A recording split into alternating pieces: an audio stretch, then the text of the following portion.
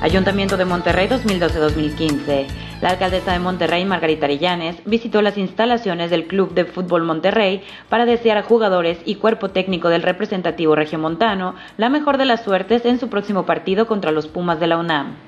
La munícipe, quien acudió acompañada por sus pequeñas hijas al barrial, afirmó que ya se tiene preparado el operativo de seguridad en torno a este encuentro con el objetivo de garantizar la seguridad de los aficionados que cada fin de semana acuden al estadio a ver a los rayados. La edil regiomontana destacó que en Monterrey se cuenta con la mejor afición del país, por lo que descartó cualquier tipo de incidente como los que han venido sucediendo en otras canchas del país.